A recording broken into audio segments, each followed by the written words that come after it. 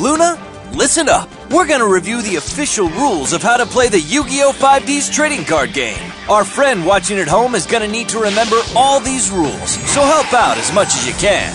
You bet. I'll do my best. First, I'll explain the victory conditions. That means how we win the game, right? That's right. In a duel, each player starts with 8,000 life points. Your life points go down when you're hit by a monster's attack. If you can get your opponent's life points to zero, you win the duel. That'll be easy with our awesome cards. Now let's go over how your turn works. Understanding this is really important if you want to win. In a duel, players take turns. During your turn, the things you can do happen in a specific order. These are called the six phases of your turn. Phases? That sounds complicated. Don't worry. All you have to do is use your cards in the right phases. I'll explain the phases in order, so listen carefully. I'm all ears. We're listening, you say. In the draw phase, you draw one card from your deck. During the standby phase, nothing specific happens unless a card mentions the standby phase. If it does, follow those instructions now. During main phase 1, you prepare for your battles and defense. You have lots of options here. Summon a monster from your hand, change the battle position of a monster on the field, set or activate spell cards, and set or activate trap cards. You can do a lot of things in the main phase. Leo, are you getting all of this? It seems more complicated than when I'm dueling. Don't worry, we'll take this slow. You'll get it all down. Thank goodness. Next is the battle phase. You can attack your opponent using monsters you control. I see. Battle, which means I attack. That's right, Leo. I'll explain the battle phase in detail later. I can't wait. Once you're done battling, next comes main phase 2. It's just like main phase 1. Since your opponent's turn is coming up, you should strengthen your defense. But remember, if you already summoned a monster during main phase 1, you can't summon again during main phase 2. In the end phase, you declare the end of your turn. So you just say, I end my turn or something. You got it. After you end your turn, it's your opponent's turn. So that's everything. The game continues using those six phases. Once you pass a phase, you can't go back to it that same turn. So Leo, let's talk more about what you can do during your main phase. There's two highlights that are really important. Summoning a monster and using spells and traps. Your cards with yellow or orange borders are monster cards. When you bring a monster card out onto the field, it's called a summon. Summoning monsters is one of the basics of dueling. You summon a monster so you can use it to attack your opponent, plus defend against your opponent's attacks. Now, let's try it for real. Awesome. Let's see how it's done. Leo, would you keep it down? Come on, you two. The game's supposed to be fun. Sorry. Go on, you say. Choose the monster in your hand you want to summon. Then summon it in attack or defense position. Attack position monsters go face up. Monsters summoned in defense position go face down and sideways, so your opponent can't see what they are. Usually, you want to put monsters with high attack points in attack position and monsters with high defense points in defense position. One more thing. When summoning a monster, notice the number of stars under the monster's name. If a monster has five or more stars, it needs to be tribute summoned. Tribute summon means you have to send a monster from your side of the field to the graveyard before you can summon that big monster. For a monster with five or six stars, you must tribute one monster you control to summon it. For a monster with seven or more stars, you must tribute two monsters to summon it. So I can't summon a really powerful monster right away? That's right. Luna, do you also understand up to now? Yes, I'm fine. There are also other monsters that are summoned in special ways. As long as you meet the requirements, you can summon as many of these special monsters as you want during your main phase. If you can master using them, these are some very powerful monsters. My favorite special monsters are the white-bordered Synchro Monsters.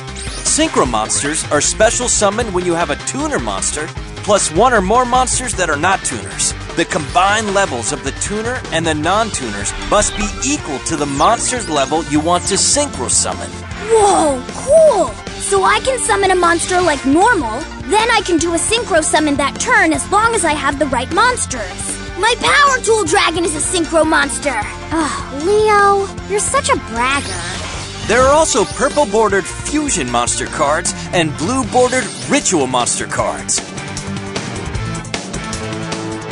So that's it for summoning monsters in the main phase. Next up, The battle phase! hang on, Leo.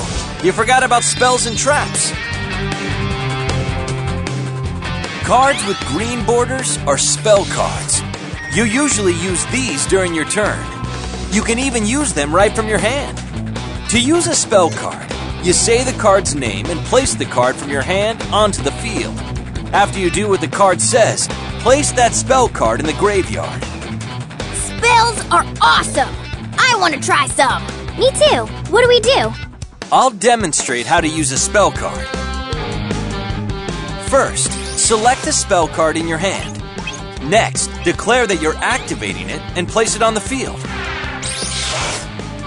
Afterwards, resolve the effect. The used spell card is placed in the graveyard on the right side of the field.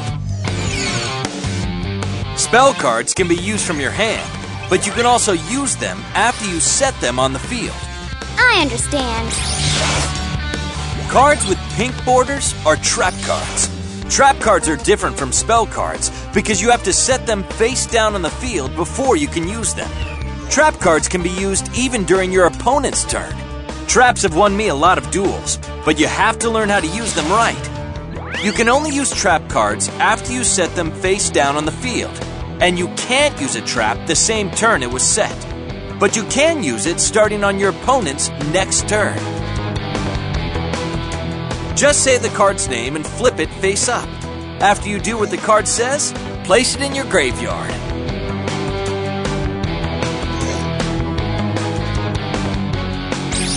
Now then, let's use a trap card for real.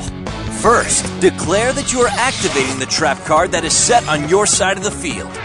After the effect resolves, place the used trap card in the graveyard. Now we've come to the best part. It's the battle phase. This is what I've been waiting for! It's very exciting! If you know how to attack with your monsters, you'll be in good shape. To attack, just pick one of your monsters and declare an attack. The type of battle depends on the battle position of the monster you're attacking. There are two ways to resolve a battle. Two ways? Yeah! The first way happens when you attack your opponent's monster that's in attack position. The other is when you attack your opponent's monster in defense position. In defense position, a monster can be either face up or face down, but that doesn't affect damage calculation. Now I'll explain how to calculate damage both ways. Oh, calculations. Uh oh. Leo's pretty bad at math. That's not true. It's just simple subtraction, Leo, so don't worry. I'm gonna explain, so stay with me. Okay. First way, attack position versus attack position. In this case, if your monster's attack points are more than the other monster's attack points, you win the battle. Destroy your opponent's monster and send it to the graveyard. Then reduce your opponent's life points by the difference in attack points between your monster and the opponent's monster. When your monster's attack points are equal to the other monster's attack points, it's a draw. Both monsters are destroyed and sent to the graveyard. There's no change to either player's life points. Are you okay so far? Piece of cake. I'm following okay. Alright, now for the second way attack position versus defense position. If your monster's attack points are more than the other monster's defense points, you win the battle. Destroy your opponent's monster and send it to the graveyard. There's no change to either player's life points, so you can't deal damage to your opponent's life points when you attack a monster in defense position. If your monster's attack points are equal to the other monster's defense points, it's a draw. Unlike the battle between two monsters in attack position, neither monster is destroyed in this case. What if my monster's attack points are less than the other monster's defense points? Does that mean the attack failed? Exactly. Neither monster is destroyed. But you take damage to your life points equal to the difference between your monster's attack points and the other monster's defense points. I got it, I got it. What if the opponent doesn't have any monsters? That's a good question, Luna. In that case, it's a direct attack on your opponent. Your opponent loses life points equal to the attacking monster's attack points. That's the end of explaining the basic rules. Do you both understand them? Perfectly. How about you, Leo? The amazing Leo will win hands down! Come on, let's get this duel started already, you say? Okay, but I won't go easy on you. Leo, we're gonna start the duel now. Are you ready? Let's both use the same deck. We'll use this starter deck. If you get the chance, you should try synchro summoning. Go for it, Leo! Alright, you say, let's get started already! Oops, before beginning a duel, we have to make sure to greet each other. I'm looking forward to our duel! Yeah, I'm looking forward to the duel too. First, we shuffle our own decks. Next, after we shuffle each other's decks, place your deck in the deck zone. Then, if you're using synchro monsters, place them in the extra deck zone. Next, we see who goes first by flipping a coin or with rock, paper, scissors. Alright, one, two, three! Yes, I won! I decide to go first! We each draw five cards from our decks. The duel is on! Leo, I'm rooting for you! My turn first! I draw! From my hand, I summon a monster in face down defense position. Then I set two cards and end my turn. Your turn, you say? Alright, my turn. I draw. From my hand, I summon Speed Warrior in attack position. Then I enter my battle phase. Due to Speed Warrior's effect, its attack points are doubled until the end of the battle phase. Speed Warrior, attack Leo's monster! The bad move, you say? I activate my trap card Widespread Ruin! Speed Warrior is destroyed! Great play, Leo. Smart move. I place one card face down in main phase two, then end my turn. You're off to a good start, Leo. I'm just getting started. First, I draw. Then I flip summon Death Koala to activate its flip effect. Death Koala inflicts 400 damage for each card in Yusei's hand. Another good play, Leo. Now Yusei is down to 6,400 life points. Alright, next I tribute Death Koala to tribute summon Saber Beetle and attack Yusei's life points directly. I activate a trap. Scrap Iron Scarecrow. The attack of your monster is negated. Plus, Scrap Iron Scarecrow's special effect says I can flip it face down again instead of sending it to the graveyard, so I can use it again next turn. Blast! I end my turn. Impressive as always, you say. My turn. I draw. Then from my hand, I activate the spell card Tribute to the Doom. I discard one card to destroy your Saber Beetle. Whoa! I can't let that happen! I activate my trap card Magic Drain in response!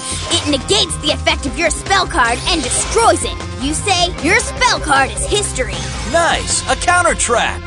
you see? We're playing by my rules, you say? I'm not done yet. I summon Junk Synchron. Junk Synchron's effect lets me special summon a level 2 or lower monster from my graveyard. Come on back, Speed Warrior! Also, Quillbolt Hedgehog special summons itself from the graveyard by its own effect. I discarded it in order to activate my Tribute to the Doom spell card. And Quillbolt Hedgehog's effect allows me to special summon it from the graveyard if I control a tuner monster, like my Junk Synchron. Next, I activate an equip spell, Unstable Evolution, and equip it to my Quillbolt Hedgehog. While my life points are lower than my opponent's, the equipped monster's original attack becomes 2400. Now my Quillbolt Hedgehog's attack is 2400! What? This is all in one turn? And I'm not done yet. Now for a Synchro Summon! My level 3 Junk Synchron tunes up my level 2 Speed Warrior. That means I can get a level 5 Synchro monster from my extra deck. I Synchro Summon Junk Warrior! Oh no! Yusei's favorite synchro monster! Junk Warrior gains attack points equal to every level 2 and under monster I control, including Quillbolt Hedgehog's 2400 attack points. Now my Junk Warrior attacks your Saber Beetle with 4700 attack points. Ah! My monster! Since I have more life points, Unstable Evolution changes Quillbolt Hedgehog's attack to 1000. I attack directly with Quillbolt Hedgehog! Ah! I knew it, you say. You're pretty tough to beat. Our duel isn't done yet, but have you mastered the basics, guys? Yep, all that's left to do is practice. You're right. I'll give it my best too. The stronger you get, the more fun dueling becomes. Do your best so you